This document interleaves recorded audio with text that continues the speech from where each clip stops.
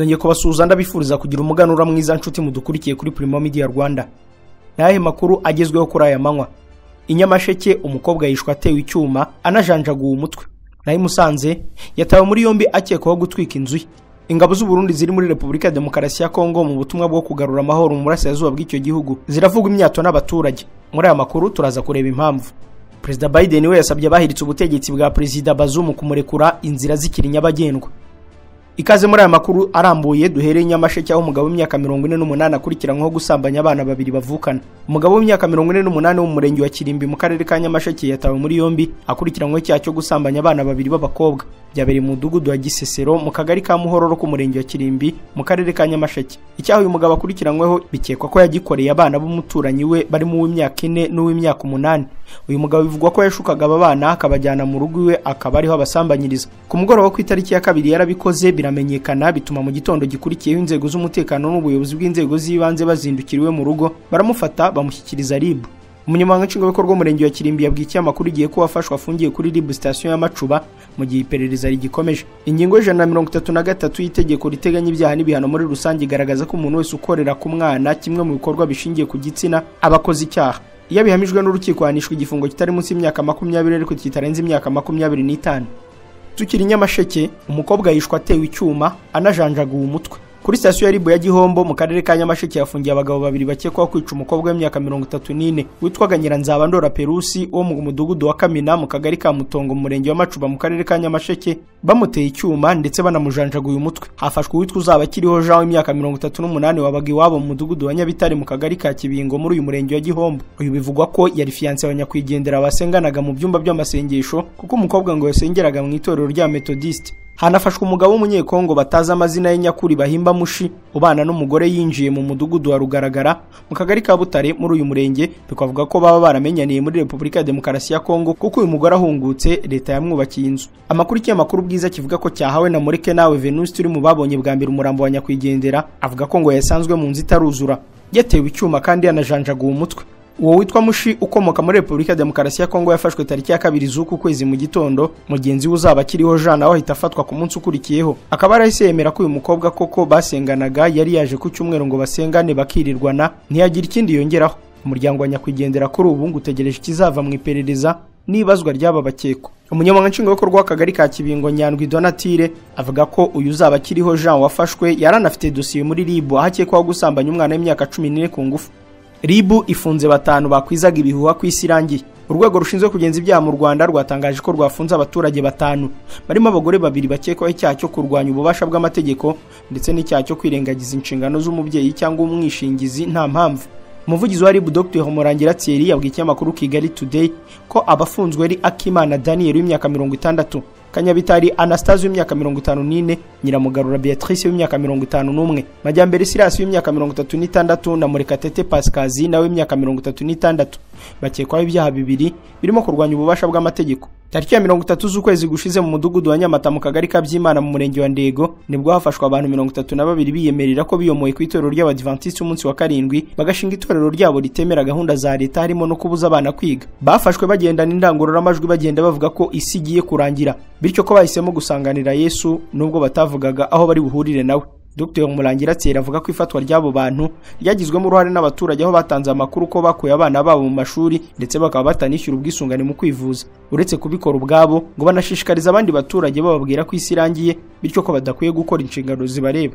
Icyaha cyo kurwanya ububasha bw'amategeko gihanwa n'ingingo ya magana abiri na gatanu y'itegeko rihana ibyaha n'ibihano muri rusange aho gihamijwe n'urukiko ahanishwa igifungo kiri hagati y'imyaka itanu n'imyaka irindwi. Hari n'indi ngingo iteganya ko ibi bihano bishobora kwikuba igihe cyose gushishikariza abandi kwagiza ingaruka mbi. Icyaha cyo kwirengagiza inshingano z'umubyeyi cyangwa umwishingizi cyo gihanwa n'ingingo ya mirongo itatu na kabiri y'itegeko ryerekeye kurengera umwana aho ubihamijwe n'urukiko ahabwa igihano kirimo inyungu rusange mu gihe kitarenze ukwezi.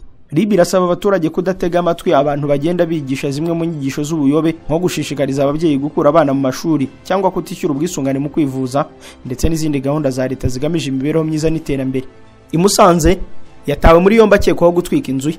Bagaragaze Eliyazari w'imyaka mirongo itanu n'ibiri wo mu kagari ka Birira mu murenge wa Kimonyi akarere ka Musanze ari mu maboko y'urwego rushinzwe kugenza ibyaha mu Rwanda. Nyuma yo gukekwaho gutwika inzu ye abanamo n'umugore n'abana. Byabaye isaa kumi n'ebyiri z'igitondo cyo kuwa gatatu aho abaturanyi be bemeza ko muri uko kwitwikiraho inzu yahereye ku buriri bw'abana burakongoka umuriro ufata imyenda n'inkweto byari hafi y'uburiri byose birashya. Umuvugizi wa polisi mu ntara y'amajyaruguru sp jean bosco mwiseneza aremeza ayo makuru aho avuga ko uwo mugabo usanzwe afitanye amakimbirane n'umugore bashakanye mu buryo bitemewe n'amategeko. Yashatse gutwika inzu ye abaturage bayizimya itarafatwa. SP Mwiseneza yasabye abaturage kwirinda ibintu by'umuriro mu nzu abantu batuyemo. Abasaba no kujya batanga amakuru ku gihe niba bamenya umuryango ufitanye amakimbirane. Bagaragaza wari wahise atoroka yamaze gufatwa n'inzego z'umutekano ashyikirizwa RIB sitasiyo ya Cyuve mu yandi makuru kandi abagabo n'abagore bongerewe iminsi igize ikiruhuko cyo kubyara. Itegeko rishya ryerekeye ubuzima n'umutekano ku kazi ari naryo rikubiyemo ibiruhuko bihabwa abakozi ryemeje ko umugore wabyaye azajya ahabwa ikiruhuko kingana n'ibyumweru cumi na bine. Mu gihe iminsi yahabwaga umugabo we yongerewe ku buryo ishobora kugera kuri cumi n'ibiri.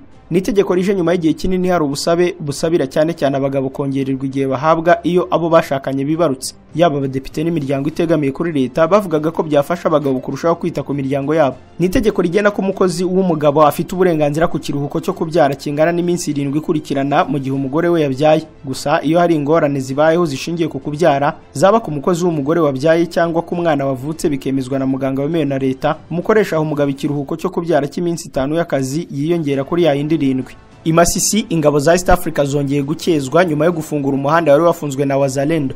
Abaturage bo muri teritwari ya Masisi mu burasirazuba bwa Repubulika ya Demokarasi ya Kongo bongeye kugarurira icyizere ingabo za East African Community zaturutse mu Burundi nyuma yo gufungura ku wa kane umuhanda Karuba Sake wari wafunzwe n'inyeshyamba za Wazalendo zigatangira kubasoresha no kubambura. Uyu muhanda wari wafungiwe mu birometero mirongo itatu na bitandatu uvuye mu mujyi wa Goma muri Kivu y'Amajyaruguru. Akaba ari umuhanda uhuza grupoma za Karuba Mushaki na Shasha zo muri sheferi ya Bahunde. Ijwi rya Amerika rivuga ko mu gihe cy'isaha yose nta modoka zashoboraga kuva Karuba zijya muri Sake cyangwa ngo zive Sake zijya Karuba amakuru aturukayo avuga ko izi nyeshyamba za wazalendo zigizwe n'insoresore muri ibyo bice zishyuzaga amafaranga ku modoka na moto kugira ngo zibashe gutambuka. Abaturage bavuganye n'iki gitangazamakuru nyuma yo gufungura uyu muhanda bavuze ko izi nyeshyamba zishinja leta ya kongo kutubahiriza amasezerano bagiranye yo kubitaho cyane cyane ngo ko zitabona ibyo kurya. Muri uyu muhanda ngo usanga izi nyeshyamba zijujuta zivuga ko leta itazitaho nta yandi mahitamo zifite usibye kwirwanaho no kwambura abaturage. Ariko abaturage bemeza ko kuva izi nyeshyamba za wazalendo zakwirukanwa n'ingabo z'abarundi umutekano ugenda urushaho kuba mwiza itandukaniro rikaba ari uko ingabo za East Africa nta muntu zambura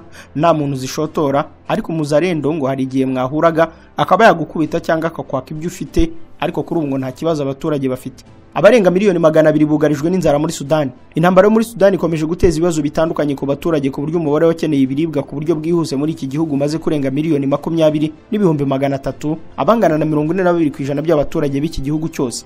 Ni imibare yatangajwe n'umuryango wita ku biribwa ukorana n'amashami atandukanye y'umuryango w'abibumbye n'indi miryango igira uruhare mu gushyira ibiribwa bari mu byago. Ibice byibasiwe cyane birimo umurwa mukuru Khartoum utuwe n'abarenga miliyoni zirindwi igice cy'uburengerazuba cy'intara ya Darfur ndetse n'ibice by'icyahoze ari intara ya Sudani yo hagati kizwi nka Kordofan. Ni ibice byakunze kwibasirwa n'intambara yadutse muri iki gihugu kuva hagati mu kwezi kwa kane muri uyu mwaka.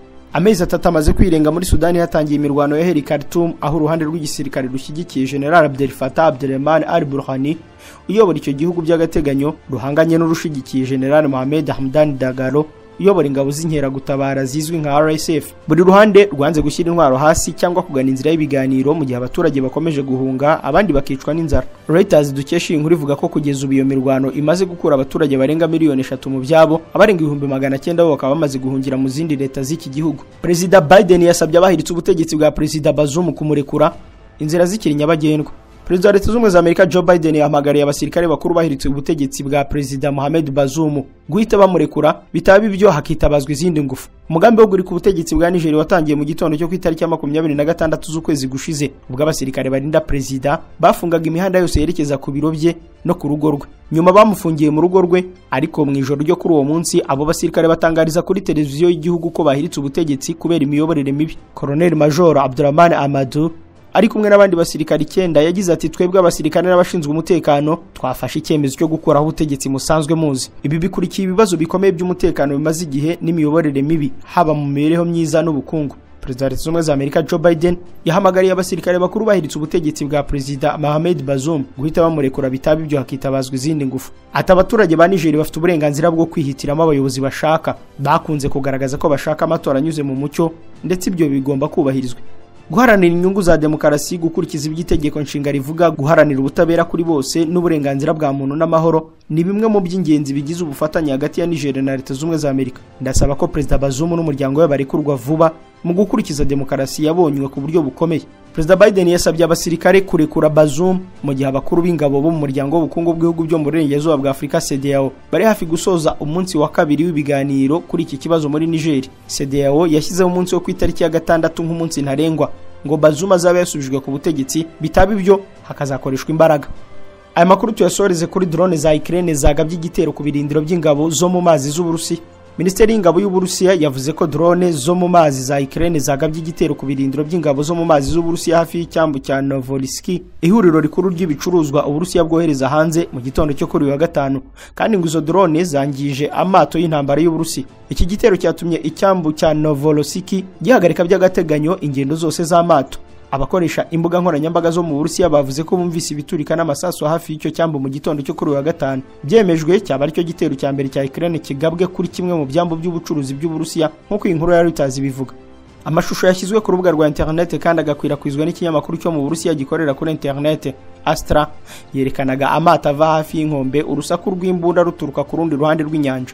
Ibiro ntaramakuru by'uburusiya byatangaje ko serivisi z'ubutabazi muri ako gace zemeje iturika ry'ibyo bisasu ndetse n'inzego zishinzwe umutekano zikaba zabimenyeshejwe. Iki cyambu ni kimwe muri binini byo ku nyanja y'umukara. Inshuti bakunzi ba Primo Media Rwanda iyo nkuru yo mu Burusiya na Ukraine niyo dusoreje amakuru ari kuvugwa kuri aya manywa. Jean Jean Dodier kandi nijabo ndabashimiye ko mwarimo yakurikiye ndabararikira kureba n'ibindi biganiro biri kuri uru rubuga. Mugira umuganura mwiza.